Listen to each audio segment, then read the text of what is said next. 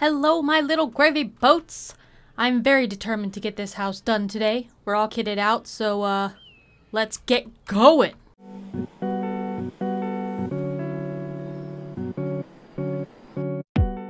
Hey guys! So, before we get into the actual video, I just wanted to talk to you guys about a couple things. The first thing is that I have recently rebranded my channel, and this is because I want to be able to play more than just Minecraft. I will, of course, be doing Minecraft still, but I wanted to know what kind of games you guys wanted to see me play. There's one called Hades that I really want to try, that I also want to stream on my Twitch. Here you go. and there's some others as well. I want to know what kind of games you guys want me to play. Uh, the other thing is, would you guys want me to do a mod showcase for Better Minecraft? With our Let's Play series, we'll definitely be getting into a lot of this stuff, but I didn't know if you guys wanted something more in-depth where I would create a new world, and then I just go into creative, and then we could look at everything more in depth. but yeah, let me know what you guys think about all of that. and here we go. All right, so I went ahead and I built up the house for the most part, all except for the roof bits. So this is what the, hello, this is what the roof is going to end up looking like, and that's how tall I want the tower to be, I'm thinking.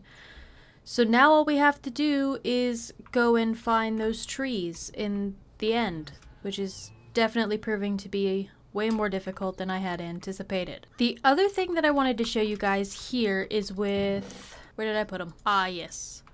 These mystery eggs and also our ice dragon egg. So for this, all you have to do is place it and then right click it and there we go. It's going to hatch here pretty soon. I think it does take just a little bit of time.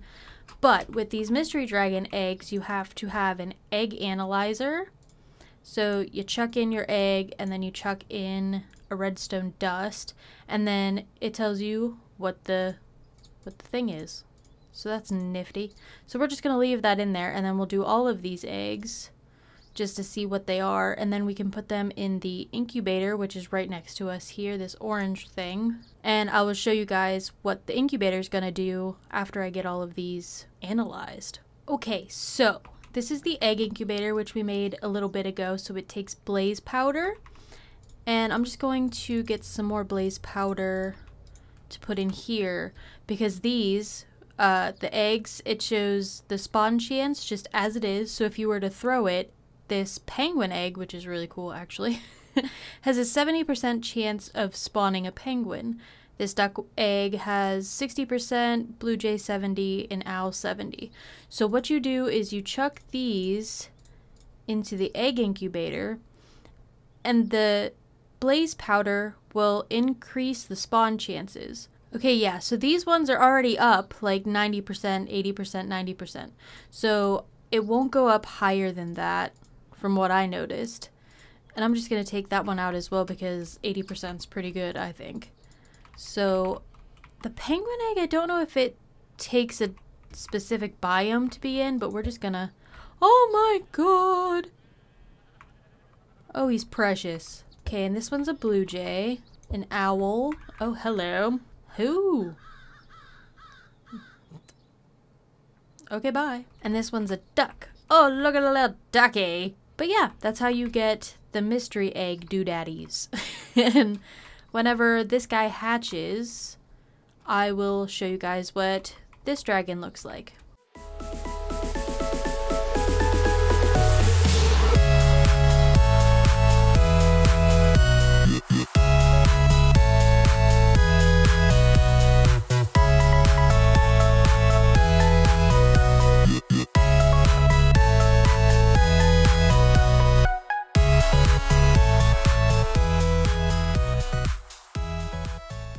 Okay, so I don't know if it takes a specific kind of fish.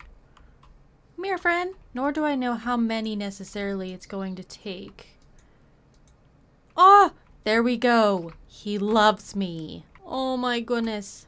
I can't get over how cool he looks. Like, the blue parts are kind of transparent. Yes, I know. Okay, and in order you can get them to lay down, you just shift and right click and they'll lay down. Oh my god. And now we can go see if we can find that stinking purple wood. Y'all, an absolute miracle happened and I found where we died. I couldn't remember what direction we'd went in because after that happened, I absolutely rage quit. So we're back into the section that we died, which is absolutely fantastic. But, oh goodness sake. There's lots of shulkers here that I didn't exactly take care of when I was here the first time. Ouch. And these guys as well. I don't know what they are, but oh my goodness are they intense. We're gonna heck and die again. We're gonna heck and die again. I'm not the most okay right now. Um, y'all know the drill by now. We'll meet at the dead body. Alright, we are approaching, which this place looks really cool, by the way. These are purpur golems. They're very interesting looking. I think they will attack you.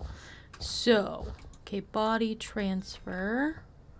Very good, very good. So there's these shulker boxes here. Um... That's really awesome that you get some free ones. This one I accidentally destroyed because I'm an idiot.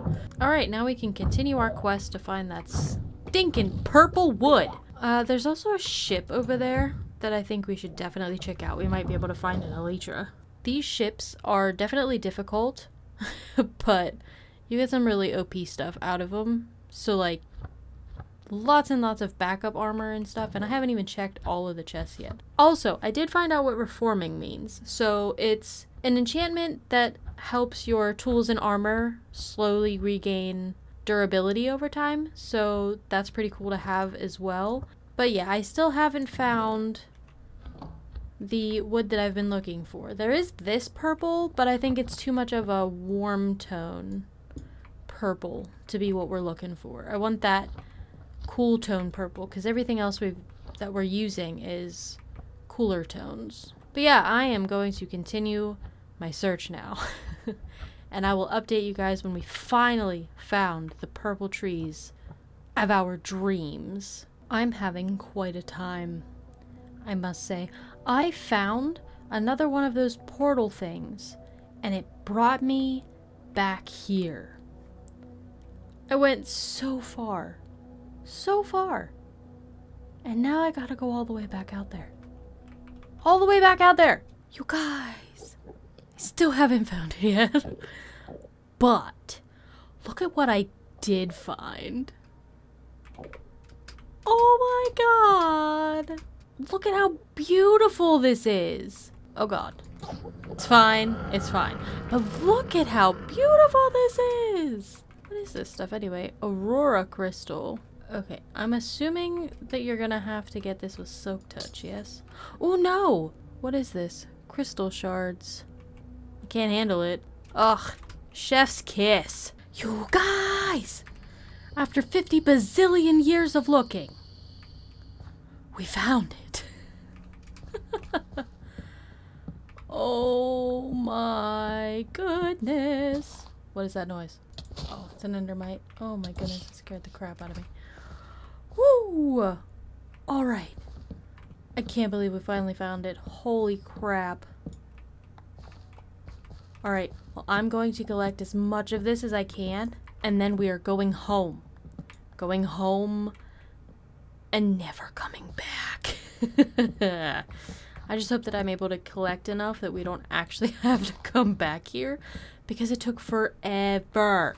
I swear to you, I've been searching for a little over an hour just to find this stupid wood. So yeah, here I am, collecting it. I will see you guys back at the house, and then we can get started on finishing said house. okay, guys, we are back home, and I have everything sorted into the shulker boxes.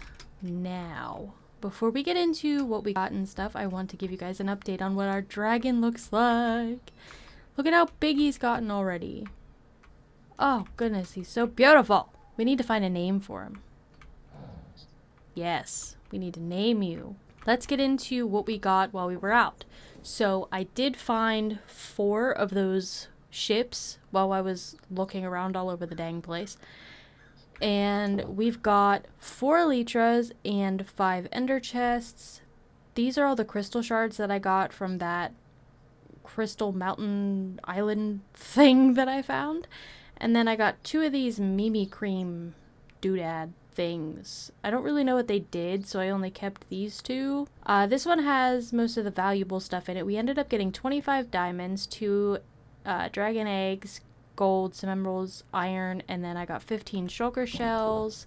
This one's just some random stuff that I got. Um, plus like the extra torches and stuff that I had, and then ender pearls, and yeah, all of that junk. This is all of the tools that we got, plus the old iron stuff from our body that we, from when we died the first time. but yeah, we'll have some nice backup stuff for a while. Same goes for all of our armor and stuff. We'll have some nice backup armor for a while as well. And then as well as all of that stuff that I got from the boats, I got three shulker boxes full of our purple wood. so, now we are able to start work on our house. And my goodness, am I excited to work on the house. Mr. Blue Jay over here is also very ready. Huh. Ready to get this house together, huh? Yes! Okay, guys, the house is done. I'm so excited! So, here it is. Oh my goodness. I can't handle how much I love this. And oh my god. I only have two arrows left. Oh, and I missed. You did. Okay, but this is the house. I have some of the inside finished as well, but we'll go ahead and take a tour of the outside. So I added some of these ender sconces. Ow!